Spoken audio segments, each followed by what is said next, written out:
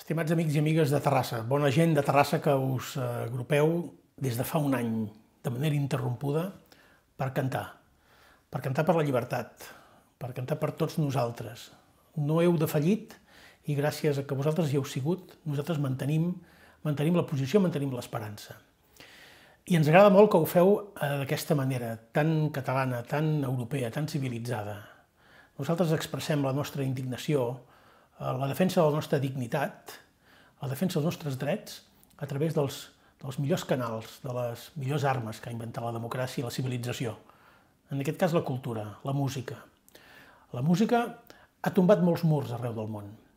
La música ha fet innecessàries moltes guerres. La música ha germanat pobles d'orígens i llengües diverses.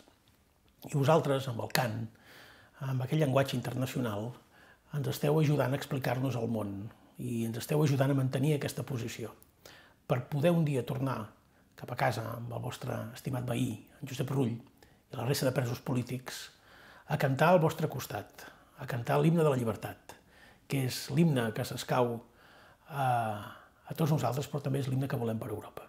Moltes gràcies i per molts anys.